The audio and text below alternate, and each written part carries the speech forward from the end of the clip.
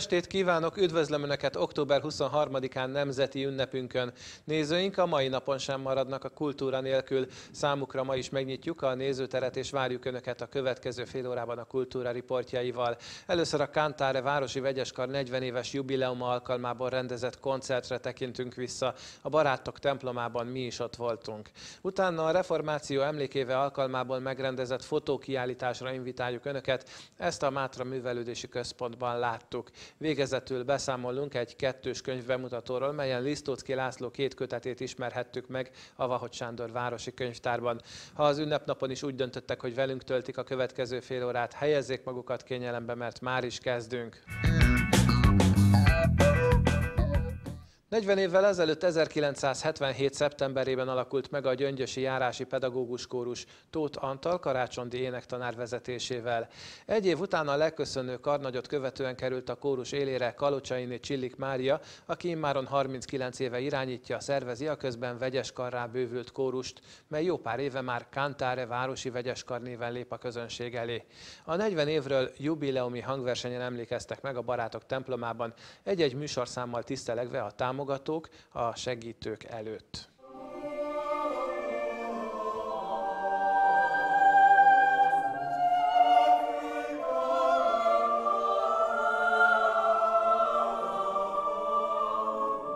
Tomás Luis da Victoria Salve Regina című nyolc szólamra írt reneszánsz Mária himnuszával köszöntötte a kórus a templom elmúlt 40 év alatt itt szolgált szerzeteseit, akik mindig is kitárt kapukkal fogadták őket, és úgy térhettek be általuk a templomba, mintha hazaérkeznének.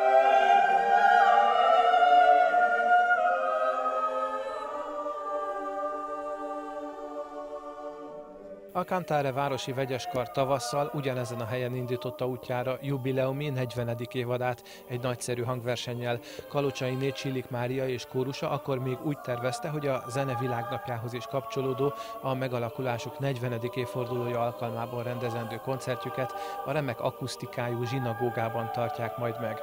Nem így lett, de mint a kórus vezetője mondja, cseppet sem bánják. Ha tehetjük, akkor ragaszkodunk a változatossághoz, de az az igazság, hogy sokkal nagyobb energiát fektetünk a művek megszólaltatására, mint a körítésre. Hát ez egy nagy hiba. Én ezt most nagyon komolyan mondom, mert többet kellene a, a úgynevezett külsőségekre adni. De nem, én erre sose adtam, és azt hiszem már nem is fogok. Úgyhogy ez, ez így alakult most. Hát a zsinagóga az darabokban van, hogy így mondjam, úgyhogy ott nagyon nagy munka lett volna és hát sajnos az elkövetkezendő CD felvételt sem tudjuk odavinni éppen emiatt, úgyhogy meg kell elégednünk azzal, ami van. A hely szelleme azért itt a barátoknál erősen hat, és hát nem utolsó sorban van itt egy remek orgona is. Ezt ki is használták, hiszen a hangverseny utolsó részében Kovács László Kántor orgona kíséretével előadhatták Kodály 114. Genfi Zsoltárát, melyet a tavaly augusztusi Nyíregyházi Kantémus kórus versenyen nagy sikerrel énekelt a vegyes kar. legnagyobb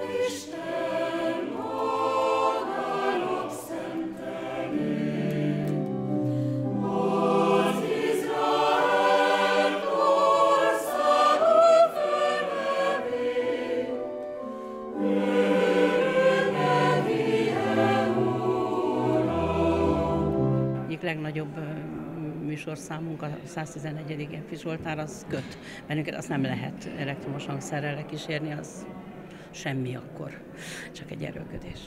Hát a másik dolog, amiről szólnunk kell, az időpont. Az időzítés megint nem véletlen, hiszen holnap a zenevilág napját ünnepeljük.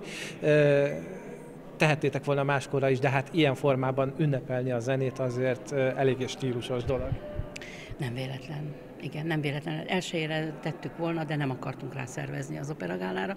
Úgyhogy ez egy ilyen elő délutánja volt, elő, én előestnek neveztem, de inkább elő délutánja volt a zenevilág napjának, és tavaly is volt éppen szeptember 30-án egy ilyen ö, hangverseny.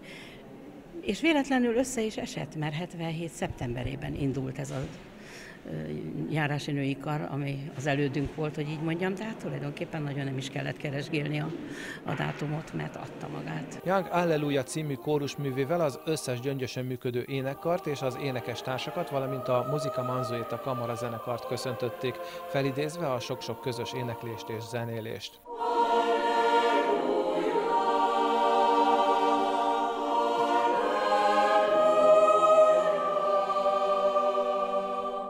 A Kantáre városi vegyeskar legendásan híres arról, hogy csak végsőkig magukévá tett kicsi szoldarabokkal állnak a közönség elé. Mondanunk sem kell, ez alkalommal is nagyon felkészültek a koncertre, bár mint Kalocsainé Csillik Mária mondja, nem volt annyira nehéz dolguk. Tulajdonképpen egy jól megtanult repertoárból elég könnyű választani mikor az ember azt nézi, hogy van egy elképzelése, már pedig itt most megvolt az elképzelés, hogy azokat az embereket, szervezeteket, intézményeket és a közönségünket köszöntsük, tehát tulajdonképpen nem annyira a magunk ünneplése volt itt a lényeg, de tulajdonképpen ez volt az igazi ünnep, hogy tulajdonképpen velünk ünnepeltek azok az emberek, akiknek némi idézőjelben köze volt a 40 évhez. Egy ilyen este mindenképp jó arra, hogy felhívja a figyelmet arra, hogy egy kórus mennyi segítőt igényel ahhoz, hogy jól működhessen. Mendelssohn 42. Zsoltárának nyitókórusa, sokak kedvenc kórus műve. Ezzel köszönték meg Kulcsár Andrásnénak, a kórus gazdasági felelősének önzetlen munkáját.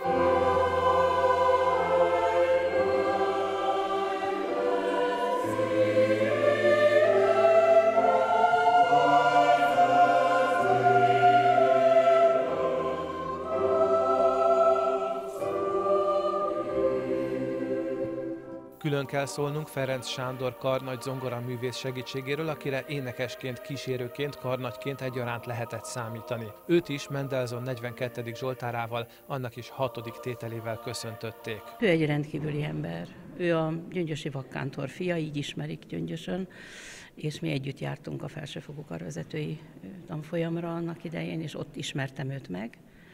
Hát egy rendkívüli ember az embert nagybetűvel. Nem félti a tudását, nem irigy, nem acsarkodik, odaáll, és akit, akit ő elfogad, és becsül valamire, teljes melvéddel odaáll melléje. Úgyhogy szerencsések vagyunk, hogy találkoztunk. Dietrich Buxtehude Membra Jézu Nostri című művének hatodik tételével is egy segítő személy Horváth Tiborni előtt tisztelektek. Ő hét alkalommal szervezett kórus találkozót Gyöngyösön. A 28 év alatt az Észak-Magyarországi kórus találkozók, amik négy évenként voltak, hát hetet rendezett meg a Horváth Tiborni. Hetet.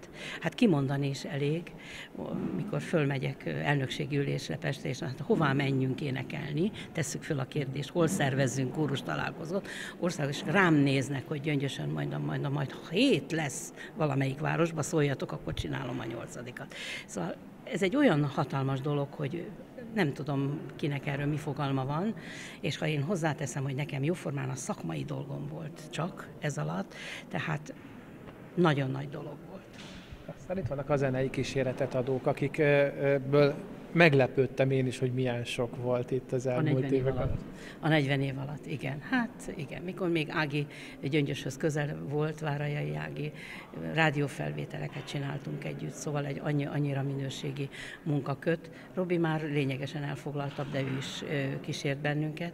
A Holics Laci pedig a minősítéseinknek a zongora kísérői, hogy így kísérője, mert hát ő egy borzasztó igényes muzsikus, de nem panaszkodhatok sem a Mari Erzsére, sem a Bugykáné Mágyi Judita, sőt a Kovács Laci Nyíregyházánra úgy megtanulta a Kodály 114. Genfi Zsoltárt, annyit gyakorolt, hogy szinte fejből tudja azt a közismerten nehezebb az orgona kísérlete, mint az énekkari szólama. Úgyhogy ilyen emberekkel vagyok körbevéve. Millé in Paradisum című kórusművével azokra a kórustagokra emlékeztek, akik már nem lehettek ezen a koncerten jelen. A zenés imádság 32 emberért szólt.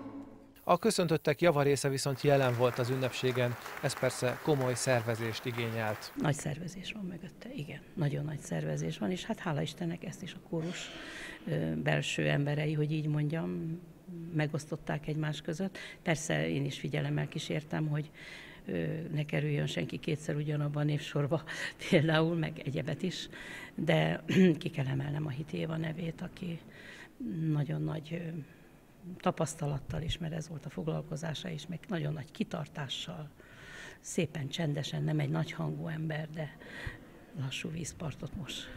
Szóljunk azért magukról a művekről is, hiszen ezek a művek, amelyek itt elhangzottak, ezek az elmúlt egy-két évben meghatározó szerepet töltöttek be a kórus életében, akár mint minősítő hangversenyre megtanult darabok, akár mint a nagyobb városi ünnepségeken megszólaló darabok, akár fesztiválon elhangzott darabok, ezek mind-mind veletes művek, és többségükről úgy tudom, hogy tényleg a kórus tagoknak a szívében is komoly és fontos helyet foglaltak el. Ezt mondtam neked az elején, hogy, hogy bizonyos értelemben könnyű volt a műsor, mert, mert az, hogy mit szeretnek, az egy kicsit annak a függvényes, hogy mit tudnak. Szóval, ha, ha sikerül elsajátítani a dolgokat, akkor könnyű dolga van bár. Sokat ki kellett húznom, mert nem akartam a végtelenségig nyújtani itt az éneklést, nem erről szólt, a közöntésről szólt most. A végére maradt egy flashmob, hogy mindenki részese lehessen az éneklés örömének, közös együttdalolásra hívták a közönség soraiban helyet foglaló egykori énekeseket.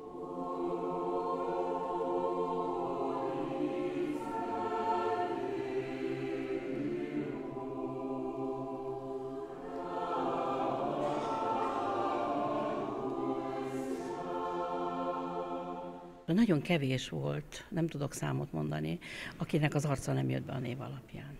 Nagyon kevés volt ilyen. Én annak örülök, hogy a most követő vacsorára is nagyon sokan bejelentkeztek, úgyhogy szinte még egy kórusnyi ember, ha nem több, hmm. mint ahányan most itt álltunk. Úgyhogy, és végig simogathatok mindenkit, akit valaha szerettem. Ezzel egyébként el lehet játszani ezzel a gondolatot, hogy milyen lenne, hogyha ez a kórus ma ekkora lenne, és mindenki aktív tag lenne közülük. Hát meglehetősen ö, érdekes feladatod lenne. Ezen nem gondolkodtam. Egy igazi nagy kórus lenne már. Nagyon elégedett vagyok az enyémekkel. Az egy befogható, átfogható, tanítható társaság. Tudod, annyit, amennyit az ember a szív magába befoglad, annyit kell csak, nem kell többet. Hogy mire készül még a Kantáre Városi Vegyeskar? Nos, szép csendesen például a következő jubileumra, hiszen jövőre lesz 40 éve, hogy Kalocsainé Csillik Mária ezt a kórust vezényli. Persze ennek a megszervezése már nem az ő feladata, a személyek körüli nagyobb felhajtások egyébként is távol állnak tőle. Ami a kórus vezetés illeti, abban pedig egyre nagyobb szerepet kap lánya Józsa Kalocsai Mária, mert hogy csendes őrségváltás zajlik a háttérben. Tehát ez így van rendjén.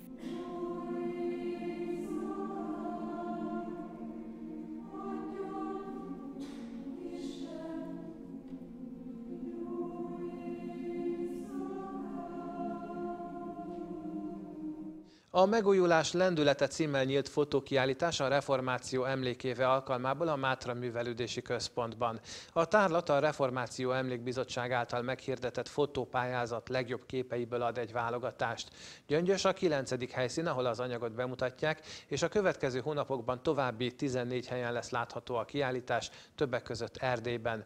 Az érdekesség, hogy minden helyszínen más, szubjektív válogatást láthat a közönség. Eifert János fotóművész jó voltában. Paul. Vedd el a mi szívünkre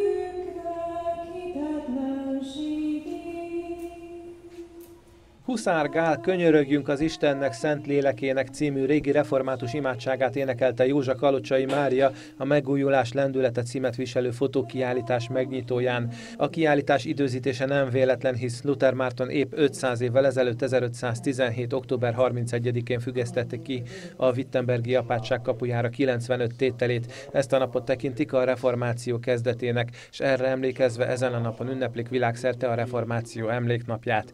Hisz György polgár polgármester köszöntőjében arról szólt, hogy a reformáció az egész addigi világot megváltoztatta, közvetlenül vagy közvetve. A fotópályázat voltaképpen ennek a gondolatnak a művészet eszközével való igazolására lett kiírva. Eifert János fotóművész volt a Reformáció Emlékbizottság megbízásából a zsűri elnöke, egyben őt kérték fel, hogy legyen a vándor kiállítás kurátora is.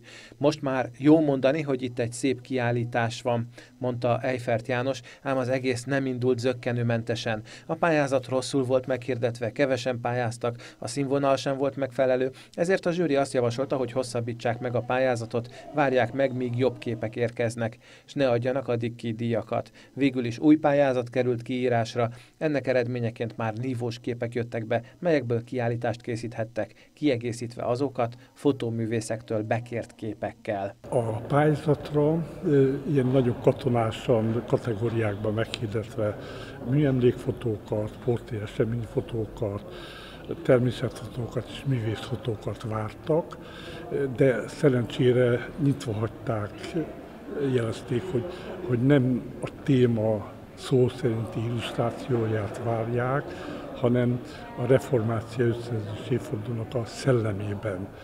És ez volt az a pont, ami a művészi erőt nem kötötte gúzsba, és valóban olyan képek érkeztek, amik megfelelő csoportosításra, egyfajta kiáltás dramaturgiába rendezve azt a mondani valót hordozzák, ami a kiírók célja szándéka szerint ennek a 500 éves évfordulónak a fölevenítése, újraértelmezése és a mai kornak megfelelően egyfajta érzetet kelt. Maga a pályázat nem húzott meg határokat amatőr és profi, hazai és határokon túlélő fotósok között, tehát bárki pályázhatott. A fotoművészetbe egyébként így visszapillantva évtizedek korábbra is furcsa is lenne, hogyha így profi vagy amatőr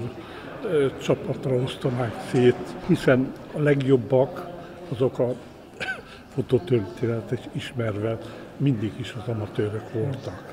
Vadasernő, Balogh Rudolf, stb. stb. Jó, hogy persze, amikor már világsikert értek el a képeikkel, akkor Vadasernőt is beszippantott az MTI, Balogh is, már volt egy nagyon tisztességes foglalkozása, hát időnként már megbízásokat is vállal, de lényeg az a szellemiség, az a frissesség, ami a magyar fotográfiát mindig is jellemezte, és a magyaros stílus kapcsán például világhíre tett szert. Néhány alkotóról külön is érdemes szólnunk, elsőként a Ceglédi Bán Katalinról, aki különleges hangulatok képeivel önálló kategóriát képvisel a kiállítás anyagában. Ő a Zsoltárok könyve című kiállításával tűnt fel. Véletlenül meghívott, ragaszkodott hozzá, hogy, hogy besízzem ki, és hát meg se tudtam szólalni, mert az gyanús lett volna, hogy hát csupa jót mondok, de itt vannak a képei, és ugyanúgy, mint most így a meghívottak között Ilkó János is szerepel, Olasz Katalin, Molnár Ferencnek, éppen itt van az a gyönyörű gyászolg című képe. Ezt például nagyon sok nemzetközi pályázaton láttam, hogy fiaparanyéremtől kezdve katalógusban szerepelt, hát gyönyörű alkotás.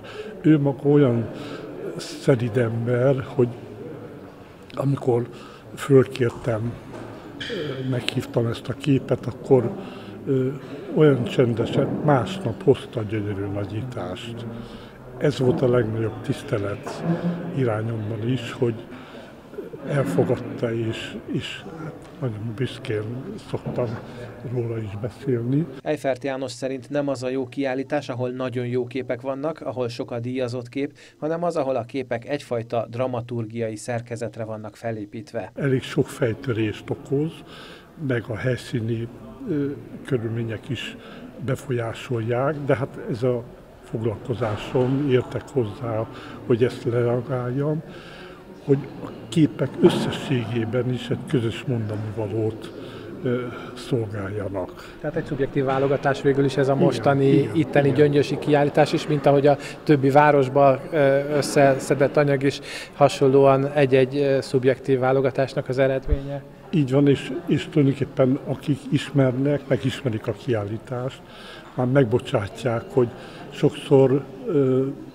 kihagyok olyan képet, ami díjazott de el tudom magyarázni, meg tudom érteni, értetni, hogy adott pillanatban az a kép kilóg, hivalkodóan kilóg a szépségével, az attraktivitásával, de ha találok egy olyan párját, vagy olyan közeget, amiben ő szépen visszaszelítül nagyon jó képé, akkor folytatódik a bemutatása. Amikor a megnyitó beszédében Fatalin Helga evangélikus lelkész azt mondta, hogy Jézus Krisztus tegnap, ma és mindörökké ugyanaz, akkor pont arról szólt ezzel az igével, ami az egész kiállításnak is a lényege lenne, azaz a hagyományt és a modernséget hogyan lehet a reformáció emlékévében visszatükrözni a képeken keresztül. Ezzel együtt több kép egyáltalán nem magához a reformációhoz kapcsolódik, mondta el Eifert János. Sőt, még vannak olyan tojások, hogy például a Szent Törinc kápolna az katolikus, de hogy el is mondtam a, a tárlatlátogatás során, ott ökonomikus, tehát hogy közös eseményeket, miséket, karácsonykor, újévkor, nem vagyok járatos a vallási terminológiába, de hogy a különböző közösségek emberei együtt ünnepelnek. És hát ez fantasztikus dolog, hogy pont egy katolikusat helyett egy baptistának, vagy egy reformátusnak, hát az egész dolognak ez a célja. Én magam nem a vallás oldaláról indulok, hiszen a műveltségem, a tudásom erre az oldalról nagyon hiányos. De a hit az a művészet számára is egy olyan meghatározó dolog. Szoktam is mondani, hogy a hit nélkül lehet, nem érdemes élni. A, a kiállítás is valójában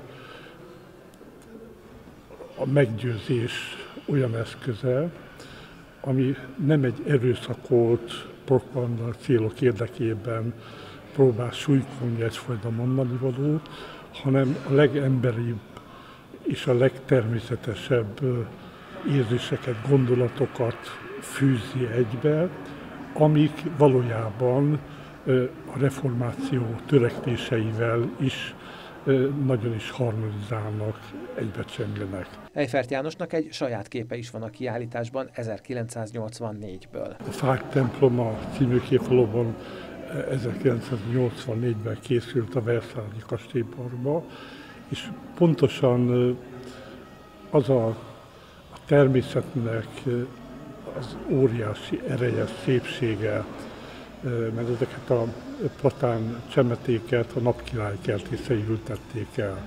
És azóta hát nem könnyű nekem most kiszámolni, tehát eltelt egy kis idő. És ezek mint egy templom, a szél hatására erősödve, de mint a gótikus templomok összehajolva valójában a fák temploma.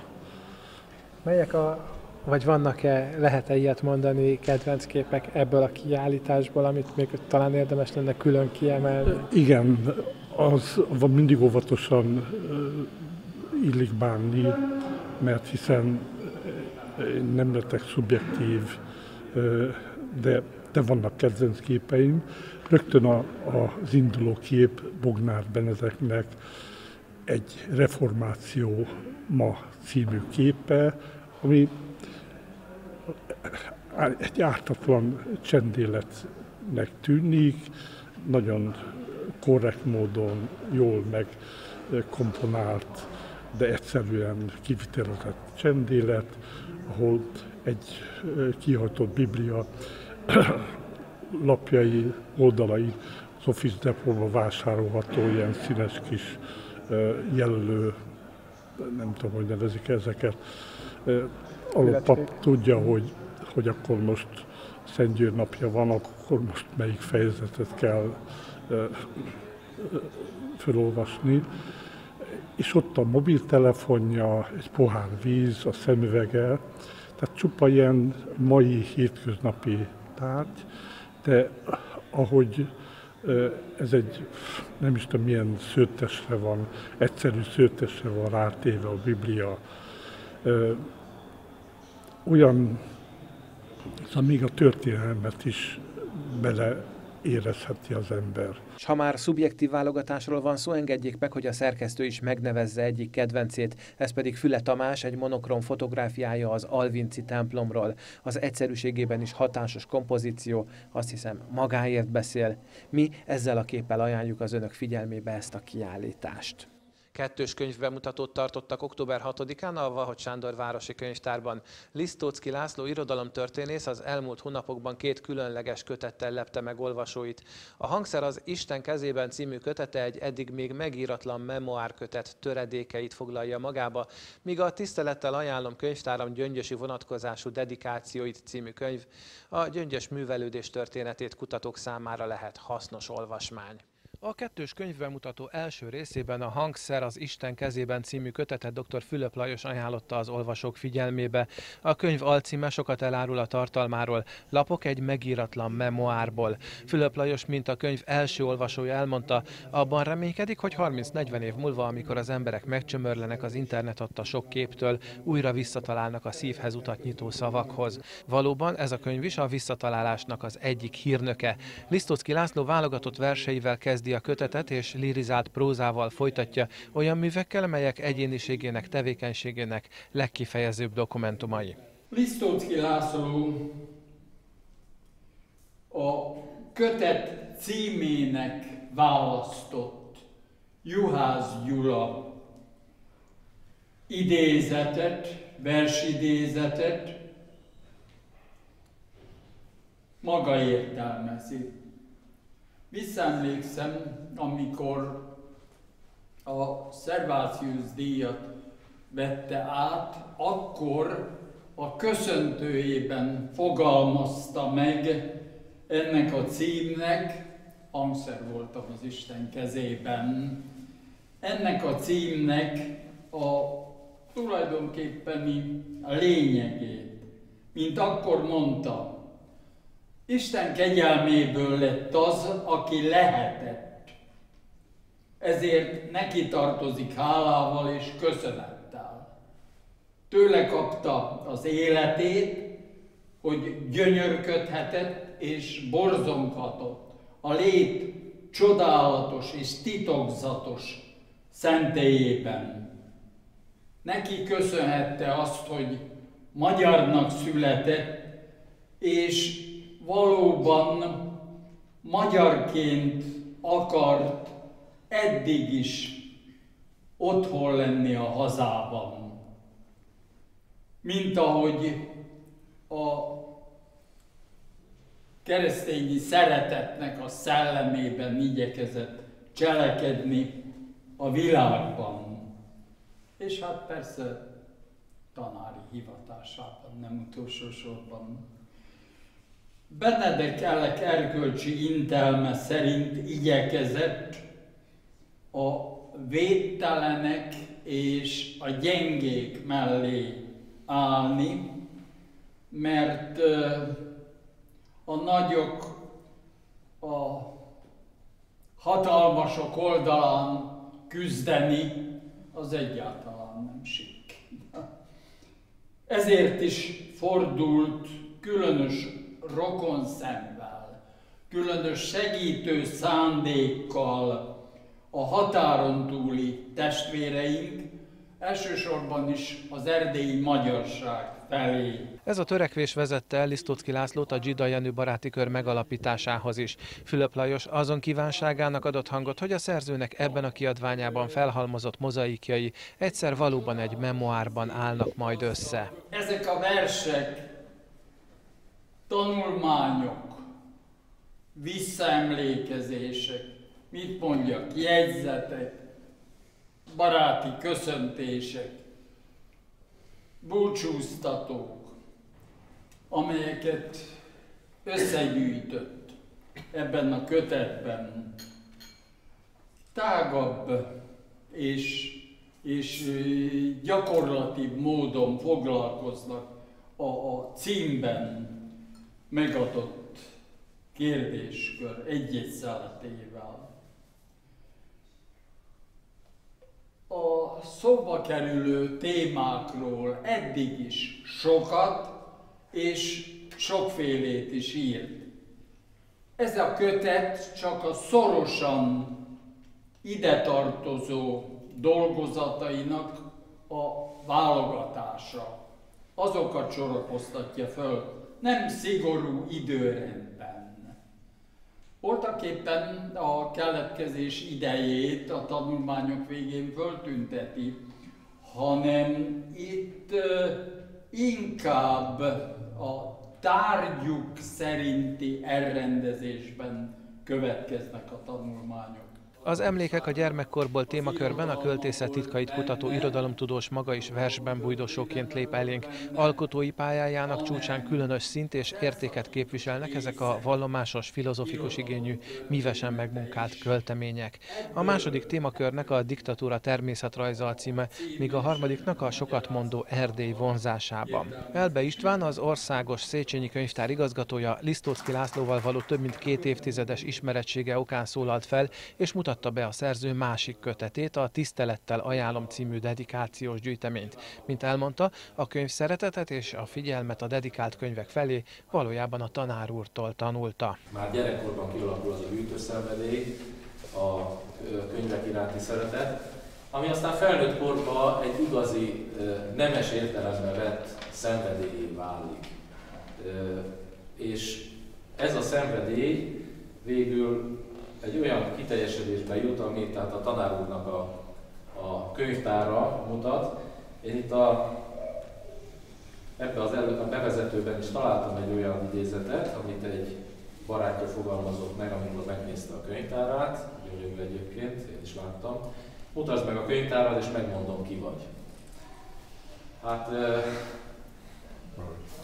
ez tényleg azt tudom mondani, hogy igazi igazi, igazi remek, remek mű az a könyvtár, és hogy mennyire nem öncélú az a gyűjtés, amit tanár úr a könyvtára összerendezésében létrehozott, az azt mondta, ez, az, ezek a könyvek mutatják. A tisztelettel ajánlom könyvtáram gyöngyösi vonatkozású dedikációit című könyv erősen kötődik Gyöngyös művelődés történeti múltjához. Több mint 70 dedikált könyvem van ebből a tárgykörből, gyűjtöttem évtizedeken át, és most elővettem hatalmas könyvtáramból ezeket a gyöngyösi vonatkozású dedikált könyveket.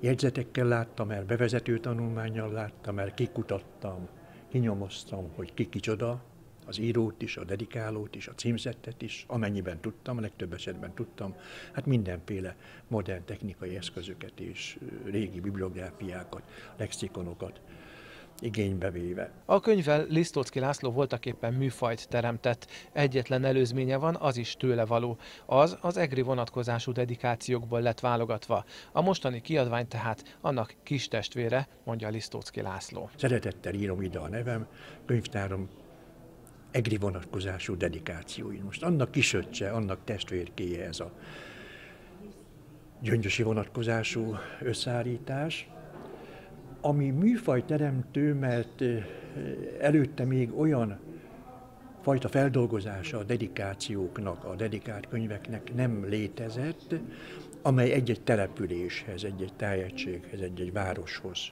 kötődött volna gazdagítja eleve a tárgy jellegéből következően a település, tehát jelen esetben gyöngyös irodalmi művelődés történeti múltjára vonatkozó ismereteinket. Nagyon izgalmas nyomozás tanulja vagy részese lehettem olykor, kutatván a nevek után, az életrajzi után, hogy milyen baráti kapcsolatok jöttek létre, ami nagyon fontos egy alkotó megítélésében, hogy milyen eszmei baráti kötődései voltak, milyen eszmetársai voltak, egyáltalán eh, milyen eh, rangú és rendű eh, baráti kapcsolatokat kötött, és számos érdekes adattal és újdonsággal, fölfedezéssel gazdagítja Gyöngyesnek a múltját, irodalmi művődés történeti örökségét. A kötet összeállítása során a legmeglepőbb felfedezés Kis József 19. századi költővel kapcsolatban történt, amikor kiderült, hogy a költő nagyapja Rebmeier Litvin révén Gyöngyöshöz is kapcsolható. A nagyapja Gyöngyösön van eltemetve 1853-ban az itteni zsidó temetőben hantolták el, és ez a kántor, zsidó kántor nagyapó voltak éppen Kis Józsefnek a művészelődje, bohímságával együtt is. Kis Józsefről azt illik tudni, hogy ő szerkesztette például a Hét című lapot, amely a nyugatnak közvetlen előzménye, és ahhoz a költő nemzedékhez tartozott, aki a Petőfi Aranytompa hagyomány után, ennek a nemzedéknek a föllépése után foglalta el a magyar költészetnek a básait, tehát ahhoz a nemzedékhez, ahová mondjuk Kis József mellett Revicki Gyula, Komjáti Jenő sorolható, bizonyos fokig Vajda János is, bár ő idősebb tagja volt ennek a nemzedéknek, de modern nyugtalanságával mindenképpen ennek a költőtriásznak a körében helyezhető el. Zsidó tárgyú, a zsidó népéletről szóló balladáival alkotott nagyot, Sima Judit az egyik korai balladája, ami nagy sikert aratott a kortársak körében. Arany tanítványa, arany volt a magyar ballada költészetnek a legnagyobb zsenie, és ebből a tárgykörből, ebből a műfajból merített a pályakezdő költő Kis József is. Élete végén, pályája végén pedig, tehát valamikor a századfordulón, a 19.-20. századfordulóján a modern irányzatok is magák, magukkal ragadták, tehát a szimbolizmus, impressionizmus, szecessziónak a vonásai is föltűntek nála, tehát voltak éppen az Adi nemzedéknek, Adi Babics, Csuhász Gyula, Kosztolányi, Tótárpád nemzedékének volt egyfajta előfutára. Kis Józsefnek nem csak a Legendák a nagyapámról című műve bír gyöngyösi vonatkozással, hanem a Gyöngyös című verse is, mely az 1918-as Gyöngyösi Főnix című kötetben is megjelent. A dedikációs kötet további érdekességekkel szolgál, nem csak az irodalom, hanem a helytörténet és a művelődés történet kedvelőinek is. Kedves nézőink, ez és ennyi volt a Nézőtér 2017. október 23-án. Köszönöm, hogy megtiszteltek figyelmükkel. Én egy hét múlva, október 30-án várom ismét Önöket a szokásos időpontban. Legyen szép és élményekben gazdag hetük. Viszontlátásra!